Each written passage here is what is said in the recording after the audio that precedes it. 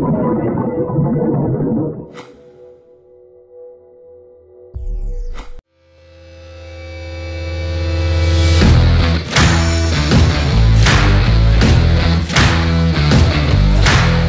had a really positive and, and, searching review which has identified a few key areas that we need to work on. So it's about now putting steps in place to do the work.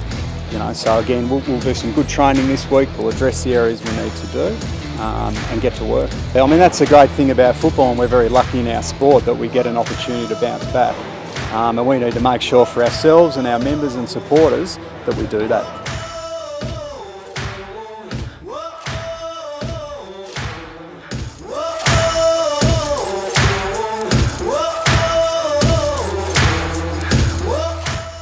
You know, we're not individualising, we're in it together. Um, the beauty of this game is you get another chance to, to rectify it pretty quickly and we'll, we'll find out pretty smartly who's, who wants to buy into it and who wants to be part of the solution.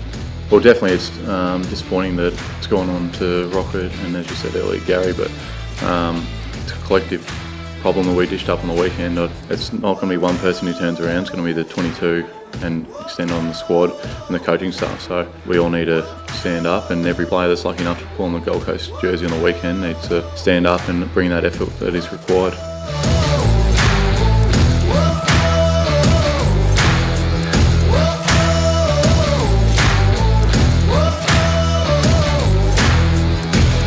Yeah, I think it starts on the track and uh, you know the way they responded this week um, and the way they responded to training has been a very positive uh, mode, obviously a positive reaction to it. So yeah, but it's obviously proofs in the pudding, so we've got to be able to carry it out on the weekend.